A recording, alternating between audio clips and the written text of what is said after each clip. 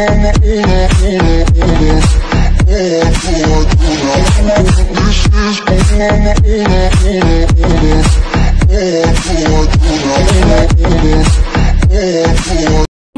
അസ്സാം എന്തല്ല വിശേഷം? എല്ലാവർക്കും സുഖമല്ലേ ഞാനിന്ന് വന്നിട്ടുള്ളത് ഒരു ആക്കുറ ബിരിയാണീന്റെ റെസിപ്പിയുമായിട്ടാണ്.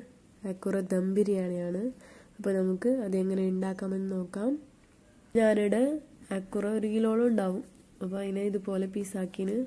അതിലേക്ക് വേണ്ട എത്ര ഉപ്പും മഞ്ഞപ്പൊടിയും കുരുമുളക് പൊടിയും ഇടാം.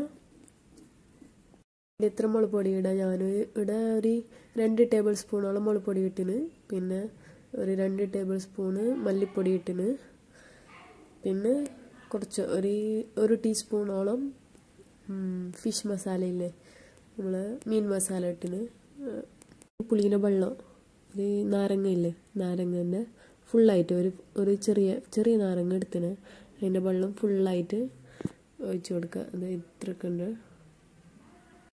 പിന്നെ കുറച്ച് ഇഞ്ചിയും വെള്ളുള്ളി പേസ്റ്റ് ഇല്ലേ?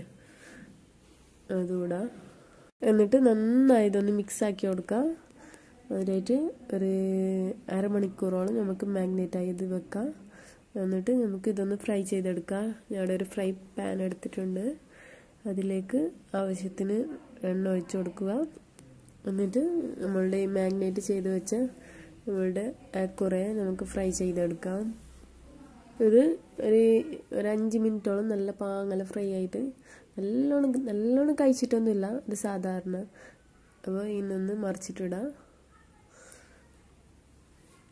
ഇതുപോലെ ബാക്കിയുള്ള പീസസ് ഒക്കെ നമുക്ക് ഫ്രൈ ചെയ്തെടുക്കാം. നമുക്ക് മസാലയും പിന്നെ ചോറൊക്കെ തയ്യാറാക്കാൻ വേണ്ടിയിട്ട് ഒരു വലിയൊരു പാത്രം എടുത്തിട്ടുണ്ട്. അതൊന്ന് അടുപ്പിൽ വെച്ച് നന്നായി ചൂടാക്കിയ ശേഷം ആവശ്യത്തിന് എണ്ണ ഒഴിച്ചിട്ട് കുറച്ച് കറിവേപ്പില ഇട്ട് കൊടുക്കുക പിന്നെ ഇത് നമുക്ക് മുകളിലേക്ക് ഡെക്കറേഷൻ ചെയ്യാൻ വേണ്ടിയിട്ടാണ് ഞാൻ ഈ ഉള്ളി ഫ്രൈ ചെയ്യുന്നുള്ളത്. അപ്പോൾ ഒരു ഏകദേശം ഒരു രണ്ട് നീരുള്ളി അത് നേരിങ്ങനെ നമുക്ക് കട്ട് ചെയ്തിട്ട് അങ്ങനെ നമുക്ക് ഫ്രൈ ചെയ്തെടുക്കാം. അപ്പോൾ നമ്മൾ മുകളിലേക്ക് ഇടാനുള്ള ഉള്ളി ഫ്രൈ ആക്കിയിട്ടെടുത്ത് ഇനി നമുക്ക് എന്ത് മസാല ആക്കണം. അതിന് വേണ്ടിയിട്ട് ഞാനിവിടെ നേർങ്ങനെ മുറിച്ചിട്ടില്ലേ? ഇങ്ങനെ നേർങ്ങനെ നമ്മൾ ബിരിയാണിക്ക് സാധാരണ കട്ടാക്കുമല്ലോ അതുപോലെ ഒരു എട്ട് നീരുള്ളി എടുത്തിന്. പിന്നെ അതിലേക്ക് അതേ എണ്ണ തന്നെ. അതിൽ കുറച്ച് എണ്ണ ഞാൻ അതിൽ ഒഴിച്ചിന്. എന്നിട്ട് അതിലേക്ക് കുറച്ച് കറിച്ചപ്പല ഇട്ടിട്ട് ബാക്കി എല്ലാ ഉള്ളിനും അതിലേക്ക് ഇട്ട് കൊടുക്കുന്നുണ്ട്. നന്നായിട്ട് നമുക്ക് വഴറ്റിയെടുക്കാം. നല്ല പാ നല്ല അതിന്റെ കളറെല്ലാം ചേഞ്ച് ആകുന്ന പോലെ. ചേഞ്ച് ആയ പിന്നെ നമുക്ക് വേറെ സാധനമെല്ലാം ഇടേണ്ടത് അപ്പോൾ ഇത്. നല്ല പാങ്ങൾ നമുക്ക് വഴറ്റിയെടുക്കാം. ഇതിലേക്ക് രണ്ട് ടേബിൾ സ്പൂണ് ഇഞ്ചിയും രണ്ട് ടേബിൾ സ്പൂണ് വെളുത്തുള്ളിയും ഞാൻ അരച്ചത് ഇടുന്നുണ്ട് എന്നിട്ട് നന്നായി മിക്സ് ചെയ്യുക പിന്നെ ഒന്നര ടേബിൾ സ്പൂണ് പച്ചമുളക് അരച്ചത്. പിന്നെ ഒരു ആറ് തക്കാളിയും ഞാൻ നല്ല നേർങ്ങനെ സ്ലൈസ് ആക്കിയിട്ട് ഇതിലേക്ക് ഇട്ട് കൊടുക്കാം. തോമട്ടി നല്ല പാങ്ങല ബന്ധിട്ട് വരണം. നല്ല പാങ്ങല മസാലയൊക്കെ അല്ലേ നല്ല പാങ്ങല പിടിക്കണം. അപ്പോൾ ഞാനിവിടെ അടുപ്പിന്റെ അടുത്തുള്ള. അപ്പോൾ അങ്ങനെയാണ് ലൈറ്റിങ്സ് കുറച്ച് കുറവുണ്ട്. അപ്പോൾ ഇതിലേക്ക് വേണ്ട ഇത്ര മഞ്ഞൾപ്പൊടി ഇടാം. ഞാൻ ഒരു ടേബിൾ സ്പൂൺ ഒരു ടീസ്പൂൺ മഞ്ഞൾപ്പൊടി ഇട്ടിന്. പിന്നെ ഒരു ടേബിൾ സ്പൂണ് കുരുമുളക് പൊടി പിന്നെ കുറച്ച് ഫിഷ് മസാല ഇട്ടിന്. നല്ല പാങ്ങല മിക്സ് ആക്കി എടുക്കാം. ഇനി ഇതിലേക്ക് കുറച്ചോ ഞാൻ ഒരു കപ്പ് എന്ത് തേങ്ങാപ്പാൽ എടുത്തിന്. ഇതിന്റെ ഒരു അര കപ്പ് തേങ്ങാപ്പാൽ ഇതിലേക്ക് ഒഴിച്ചു കൊടുക്കാം.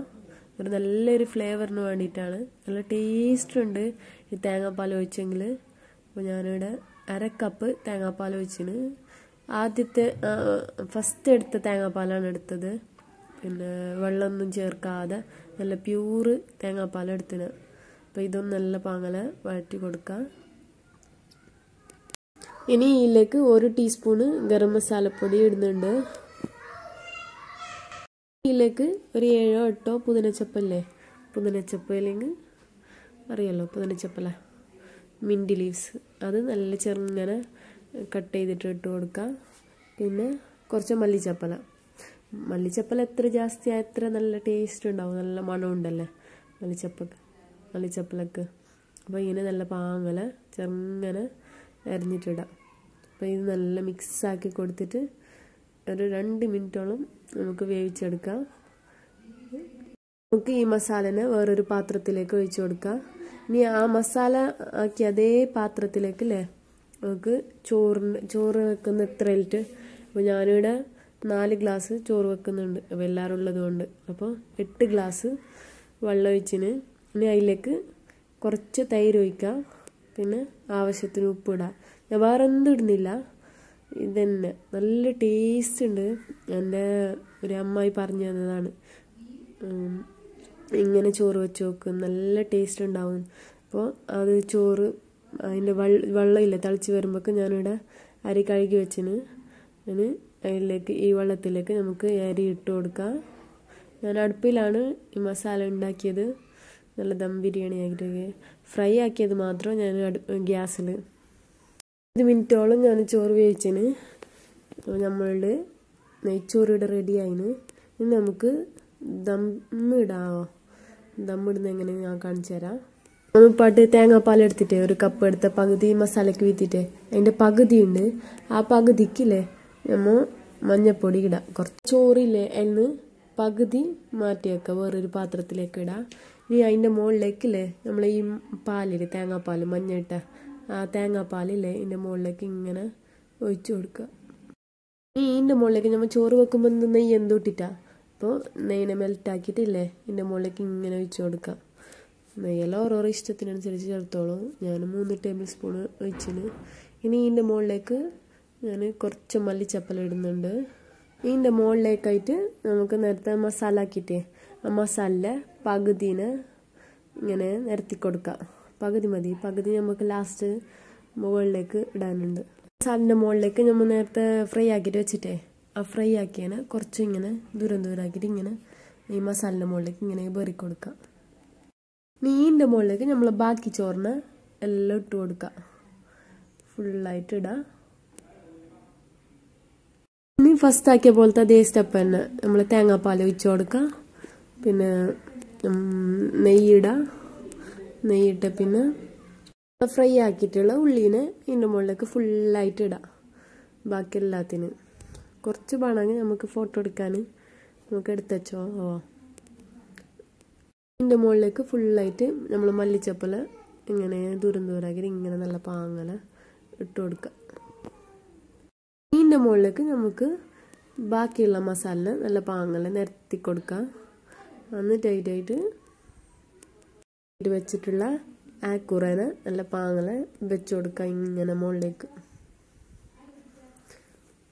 മുകളിലേക്കായിട്ട് കുറച്ച് മല്ലിച്ചപ്പല ഇട്ട് കൊടുക്കുക ടൈറ്റായിട്ട് നമ്മൾ ഫ്രൈ ആക്കിയിട്ടുള്ള ഓനിയനും കുറച്ച് ഇട്ട് കൊടുക്കുക എന്നിട്ട് കുറച്ച് നെയ്യും ഒഴിച്ച് കൊടുക്കുക ഇനി അതിന്റെ ഇടയിൽ നിന്ന് ഇങ്ങനെ സക വരാൻ വേണ്ടിയിട്ട് അതിന്റെ ഉള്ളിലേക്കില്ലേ നല്ല പാങ്ങൾ ഇങ്ങനെ സ്പൂണിലേ കുത്തി കൊടുക്കാം. തന്നെ കുത്തി കൊടുക്കണം ഞങ്ങൾക്ക് പിന്നെ മറന്നുപോയി. ഭയങ്കര മറവയാണ് കഴിഞ്ഞ വീഡിയോയിലും എന്തോന്നും ഇങ്ങനെ മറന്നുപോയിനും. അപ്പോൾ ഇനി ഇങ്ങനെ കുത്തി കൊടുക്കാം. ഇനി നമുക്ക് ദമ്മിടാം. പിന്നെ മുകളിലേക്കൊരു മൂടി വെക്കാം. ഫോയിലുണ്ടെങ്കിൽ ഫോയിൽ മൂടിയ ശേഷം ഇല്ലേ നമുക്ക് മൂടി വെക്കാം. എന്നിട്ട് നമ്മൾ സാധാരണ നിരപ്പുണ്ടല്ലോ. അടുപ്പിൽ കത്തിച്ച നമ്മൾ കരി കരീനെ നമുക്ക് ഇതിന്റെ മുകളിലേക്ക് ഇങ്ങനെ ഇട്ട് കൊടുക്കാം. എന്നിട്ട് നല്ല ദമ്മിൽ ഒരു ഇരുപത് മിനിറ്റോളം വെച്ച് കൊടുക്കാം. നല്ല അടിപൊളിയായിട്ടുള്ള ദം ബിരിയാണി റെഡി ആയിട്ടുണ്ട്. ഇത് നമുക്ക് പ്ലേറ്റിലേക്ക് ഇങ്ങനെ സെർവ് ചെയ്യാം. നല്ല ടേസ്റ്റാണ് എല്ലാവരും ട്രൈ ചെയ്ത് നോക്കുക. ഞാൻ എപ്പോഴും പറയുന്ന പോലെ എന്റെ ചാനൽ ആദ്യമായി കാണുന്നവരുണ്ടെങ്കിൽ സബ്സ്ക്രൈബ് ചെയ്യുക. അതിന്റെ തൊട്ടപ്പുറത്തുള്ള ബെല്ലൈക്കണം അമർത്തുക. അപ്പോൾ ബായ്